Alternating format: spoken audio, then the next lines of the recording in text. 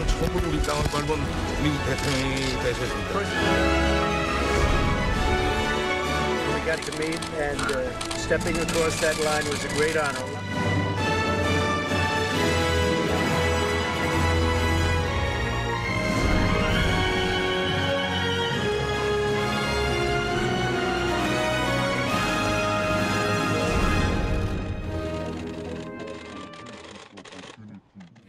지금까지는 북미 정상 간의 만남을 집중적으로 조명해 봤는데 오늘 문재인 대통령이 함께 한 것도 의미가 큽니다.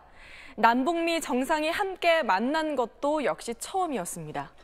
소한욱 기자가 오늘 역사적인 순간들을 정리했습니다. 3시 51분 북측 판문각 앞에서 함께 남쪽으로 넘어온 북미 두 정상을 문재인 대통령이 화남 표정으로 맞이했습니다.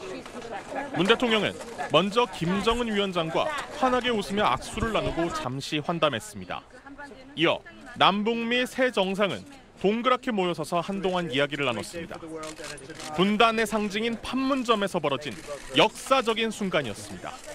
그동안 한미, 남북, 북미 정상이 만난 적은 있었지만 남북미 세 정상이 한자리에 모인 것은 이번이 처음입니다.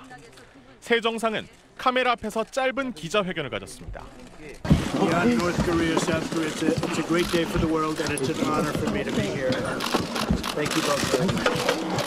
김 위원장은 문재인 대통령에게 공을 돌렸습니다.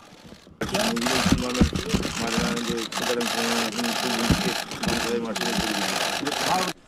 3시 54분 새 정상은 자유의 집으로 향했고 문 대통령은 북미 정상이 회담하는 자리에는 함께하지 않았습니다.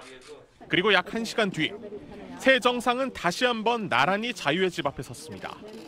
트럼프 대통령을 가운데 두고 우측의 문재인 대통령과 좌측의 김정은 위원장이 함께 서서 담소를 나눴습니다. 김 위원장의 표정은 매우 밝았습니다. 새 정상은 군사 분계선까지 함께 이동했고 한미 두 정상은 북으로 가는 김 위원장을 배웅했습니다. SBS 소환욱입니다.